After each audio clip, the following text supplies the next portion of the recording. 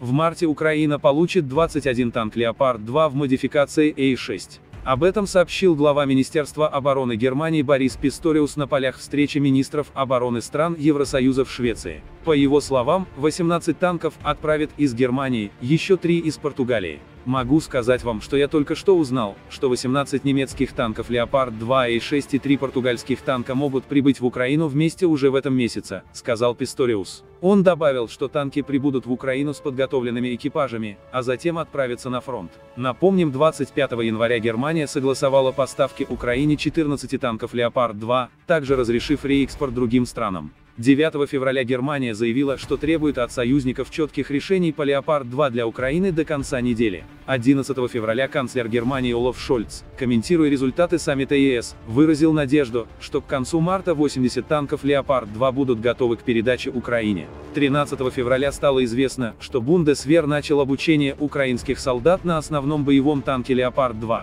24 февраля Министерство обороны Германии сообщило, что увеличит количество танков «Леопард-2», которые которые получит Украина, до 18 вместо 14, как анонсировалось ранее. А-6 – это одна из самых современных модификаций немецкого основного боевого танка «Леопард-2». Она появилась в 2001 году и была создана на базе модификации А-5. От своего предшественника «Леопард-2» А-6 отличается незаурядной огневой мощью и точностью ведения огня, возможно даже больше, чем у М1 «Абрамс», благодаря установке пушки Л-55 с удлиненным стволом. Для понимания, на «Леопард-2» А-5 стоит пушка предыдущей версии Л-44 на М1 «Абрамс», ее лицензионная копия М256. Боекомплект А-6 составляет 42 снаряда. Также они отличаются усиленной броней защитой башни и днища.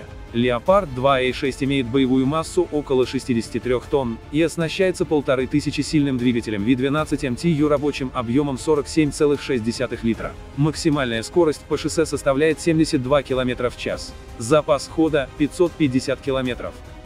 Спасибо за просмотр. Слава Украине и нашим воинам!